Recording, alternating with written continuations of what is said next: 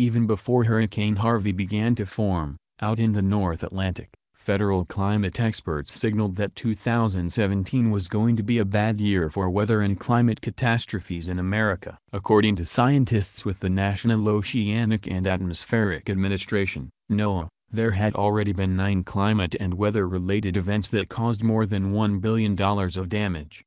This rapid succession of disaster events from 1 January to July 7, 2017 was part of a years-long increase and cost a total of $16 billion and 57 lives. Such events included flooding in California, Missouri and Arkansas, hailstorms in Colorado and Minnesota, and a sudden, crop-killing spring freeze across South Carolina and Georgia that destroyed an abnormally early fruit blossom.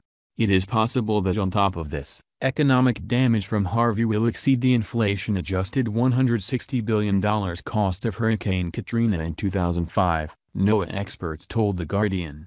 But despite NOAA's work to track what is happening to climate, weather and the oceans, and how society is affected and might react, Donald Trump proposed earlier this year slashing the administration's budget by almost $1 billion. That would cut U.S. and international research as well as funding for other environmental studies and protections. From 1980 to 2016, according to NOAA records, the U.S. experienced an average of $5.5 1B plus weather and climate disasters a year. From 2012 to 2016, that reach 10.6 such events a year. Many such events are increasing in intensity, the agency warns. Such increases are chiefly due to a combination of climate change and people spreading into vulnerable areas, especially coasts and floodplains. There is an element of chance in where catastrophic weather systems hit, but another important factor is growing prosperity. Americans have more property to be damaged when serious weather strikes.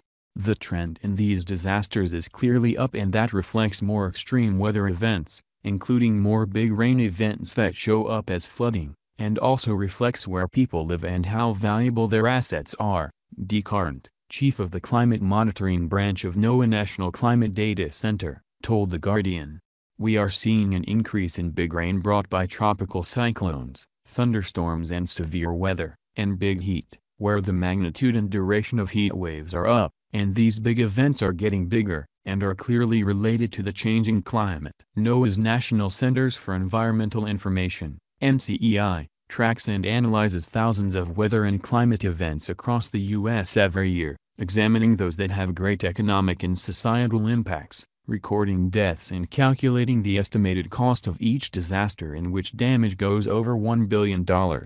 Since 1980, the NCEI has found that the U.S. has suffered 212 such disasters, collectively costing more than $1.2 trillion. Texas has had most such events, at 89. The nine events across the U.S. prior to Harvey put 2017 on track to challenge the recent highs of 2016, with 15 such events, and 2011, which saw 16. The NCEI noted that there were four inland, non-tropical major flooding events causing more than $1 billion in damage in the U.S. in 2016. There were two in the first half of 2017 before Harvey, which the experts found surprising because before 2016 no more than two $1 billion inland flooding events had occurred in any year since 1980. The magnitude of the impact of a disaster is often proportional to the scale of government response required and paid for by taxpayers said Adam Smith, a NOAA applied climatologist and the primary researcher for the analysis of $1 billion disasters. This is particularly true for hurricane and inland flood events, he said, since many U.S. households lack flood insurance and are at risk of losing everything. We are now seeing this unfold on an unprecedented scale due to Hurricane Harvey. Smith added, the U.S. has seen an increase in costly, historic flooding disasters in recent years which is very troublesome when looking into the future. It's unclear if Harvey's costs will ultimately surpass Katrina. However, since this is an unprecedented extreme precipitation event over a major city, in addition to the damage to other cities and regions from wind, storm surge and flooding, it's very possible. NCEI cost estimates are based on a range of public and private data sources. They take into account total direct losses incurred in weather and climate events, of both the insured and uninsured, including damage to all buildings and the assets within, the cost of business interruption, damage to vehicles, boats, offshore energy platforms and public infrastructure, and destruction of agricultural assets. Smith cited analysis from Erwann Michel-Kerjan, a risk management expert, partner at McKinsey and former advisor to the World Bank, which concludes that the cost of catastrophic hurricanes in particular hitting the U.S. is increasingly being borne by the federal government. The taxpayer shouldered less than 10% of the cost of Hurricane Diane in 1955 and a quarter of the cost of Hurricane Hugo in 1989, according to Michel-Kerjan, but 50% the cost of Katrina in 2005 and 80% of the cost of Hurricane Sandy in 2012. NOAA has been developing new methods of flood forecasting, which advocates fear will come under threat, with many other aspects of the agency's work, if federal funding is cut.